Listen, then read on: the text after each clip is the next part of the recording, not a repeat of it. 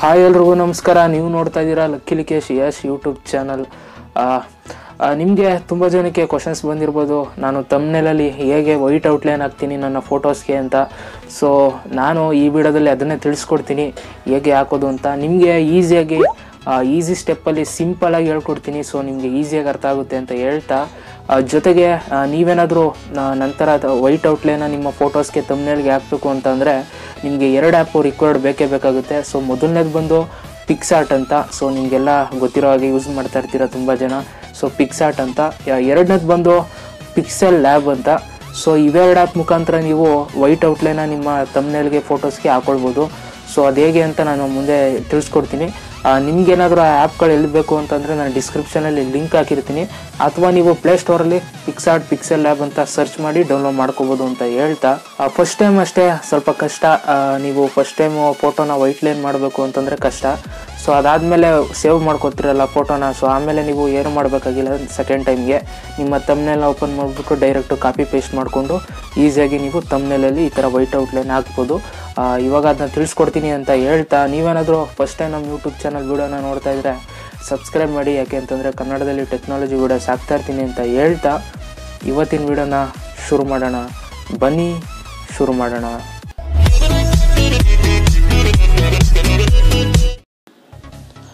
ನೀವಿವಾಗ ಇಲ್ಲಿ ನೋಡ್ಬೋದು, ನಾನು ಇನ್ಸ್ಟಾಲ್ ಮಾಡಿದ್ದೀನಿ ಎರಡು ಆ್ಯಪ್ಸ್ನು ಒಂದು ಪಿಕ್ಸಾಟು ಮತ್ತು ಒಂದು ಫಿಕ್ ಪಿಕ್ಸಲ್ ಲ್ಯಾಬ್ ಅಂತ. ಸೊ ಇವಾಗ ನೀವೇನು ಮಾಡಬೇಕು ಅಂತಂದರೆ ನಿಮ್ಮ ನಿಮ್ಮ ಯಾವ ಫೋಟೋನ ನೀವು ಕ್ರಾಪ್ ಮಾಡಬೇಕು ಅಂತ ಇದ್ದೀರಾ ಆ ಫೋಟೋನ ನೀವು ಪಿಕ್ಸಾರ್ಟಲ್ಲಿ ಓಪನ್ ಮಾಡಬೇಕಾಗುತ್ತೆ. ಸೊ ನಾನು ಇವಾಗ ಪಿಕ್ಸಾಟ್ ಆ್ಯಪ್ನ ಓಪನ್ ಮಾಡ್ತೀನಿ. ಸೊ ಅಲ್ಲಿ ನೀವು ಯಾವ ಫೋಟೋನ ಕ್ರಾಪ್ ಮಾಡಬೇಕು ಅಂತ ಇದ್ದೀರಾ ಆ ಫೋಟೋನ ಸೆಲೆಕ್ಟ್ ಮಾಡ್ಕೊಳ್ಳಿ. ಸೊ ನಾನಿವಾಗ ಈ ಫೋಟೋನ ಸೆಲೆಕ್ಟ್ ಮಾಡ್ತಾ ಇದ್ದೀನಿ. ಆ, ಈ ಥರ ಸೆಲೆಕ್ಟ್ ಮಾಡಿ ಓಪನ್ ಮಾಡಿದ್ಮೇಲೆ ಈ ಥರ ಬರುತ್ತೆ. ಸೊ ಇಲ್ಲಿ ನಿಮಗೆ ಕೆಳಗಡೆ ಕಟ್ಔಟ್ ಅನ್ನೋ ಆಪ್ಷನ್ ಇದೆಯಲ್ಲ ಸೊ ಇದ್ರ ಮೇಲೆ ಕ್ಲಿಕ್ ಮಾಡಿ. ಇಲ್ಲಿ ಕ್ಲಿಕ್ ಮಾಡಿ ನೀವು ಎಡ್ಜಸ್ ಹತ್ರ ನೀವು ಈ ಥರ ಮಾರ್ಕ್ ಮಾಡಿಕೊಂಡು ಕವರ್ ಮಾಡ್ಕೊಳ್ಳಿ. ಸೊ ಈ ಥರ ಕವರ್ ಮಾಡ್ಕೊಂಡಾಗ ಈ ಥರ ನೆಕ್ಸ್ಟು ಕವರ್ ಮಾಡಾದ್ಮೇಲೆ ಸೊ ಇಲ್ಲಿ ನೆಕ್ಸ್ಟ್ ಇದ್ರ ಮೇಲೆ ಬಟನ್ ಮೇಲೆ ಕ್ಲಿಕ್ ಮಾಡಿ. ಕ್ಲಿಕ್ ಮಾಡ್ತಿದ್ದಾಗೆ ನಿಮಗೆ ಅದು ಅಂದಾಜು ಮೇಲೆ ಕಟ್ ಮಾಡಿ ತೋರಿಸುತ್ತೆ.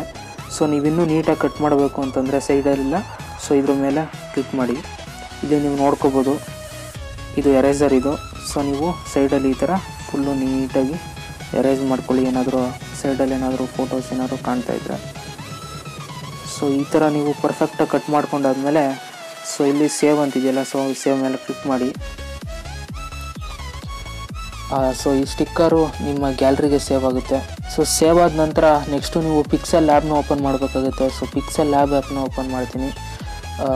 ಓಪನ್ ಮಾಡಿ ಇಲ್ಲಿ ನೀವು ಕೆಳಗಡೆ ಇದೆಯಲ್ಲ ಸೊ ಇಲ್ಲಿ ನೀವು ಇಮೇಜ್ ಸೈಜ್ನ ಸೆಲೆಕ್ಟ್ ಮಾಡಬೇಕಾಗುತ್ತೆ. ಯೂಟ್ಯೂಬ್ ತಮ್ಮನೆ ಎಲ್ಲ ಮಾಡ್ತಾಯಿದ್ದೀರಾ ಅಂತಂದರೆ, ನೀವು ಇಲ್ಲಿ ಇದರಲ್ಲಿ ಕಸ್ಟಮ್ ಮೇಲೆ ಕ್ಲಿಕ್ ಮಾಡಿ ಯೂಟ್ಯೂಬ್ ತಮ್ಮೇಲ್ ಅಂತ ಕ್ಲಿಕ್ ಮಾಡಿ ಓಕೆ ಮಾಡಿ. ಸೊ ಇವಾಗ ಯೂಟ್ಯೂಬ್ ತಮ್ಮೇಲ್ಗೆ ಎಷ್ಟು ರೇಷೋ ಬೇಕೋ ಅಷ್ಟು ಸೆಲೆಕ್ಟ್ ಆಗಿರುತ್ತೆ.